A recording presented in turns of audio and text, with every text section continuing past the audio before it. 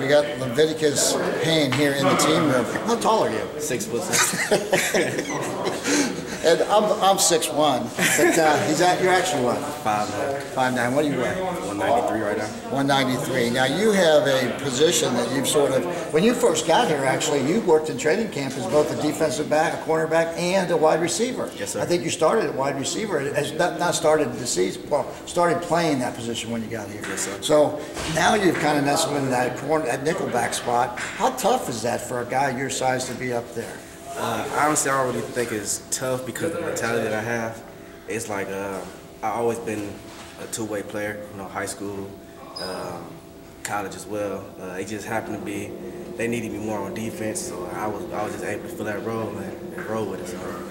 Last year, uh, Temple, uh, it was a tough game for the Bearcats. I think they've got a very talented quarterback in PJ Walker. What kinds of things uh, do you have to prepare for when you face a dual threat guy like that? Uh, one thing is uh, make sure everyone will do their, take care of their assignments, do their job, and just be sound against him.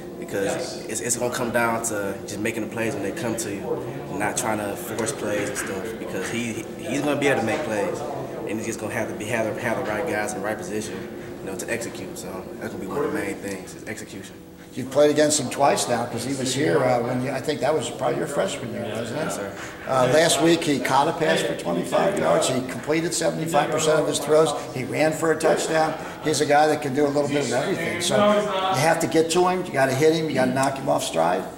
Uh, it's gonna be it's gonna really be getting to him, you know, trying to just mess, mess up the, uh, the time with the receivers, just getting them, just getting them a little rattled, you know, because it's gonna be it's gonna be real nice playing the nip, you know. Once you get in the nip, you know, the defense is gonna it's gonna be real furious, fast and furious. So it's really really just getting to them, you know, playing fast, executing. So. How tough was it last week when you prepare for a 7:15 kickoff and it's about an hour and 45 minutes later? Man, that was tough. That, that was probably one of the toughest games that I had to prepare for, just because it was a night game, and then it was about an hour and a half delay.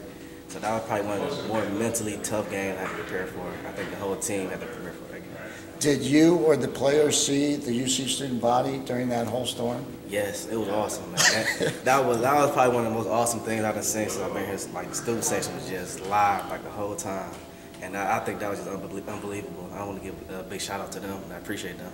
One of the, I think, the best traditions that Cincinnati has created is coming out of that tunnel, all the players go down to that student section, it just erupts, and I'm sure you get goosebumps getting ready to do that each game. Every game, man, it's a blessing, man.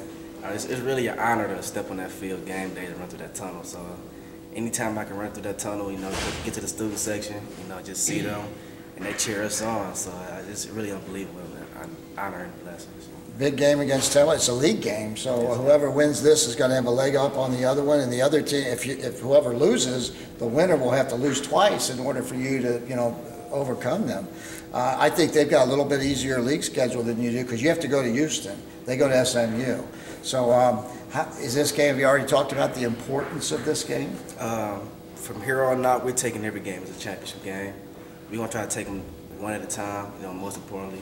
But this, this from this game and for the rest of the season, we're gonna we're gonna approach it as a championship game. With that mentality, you know, just you can't accept anything anything less than a win. So how we want to approach it.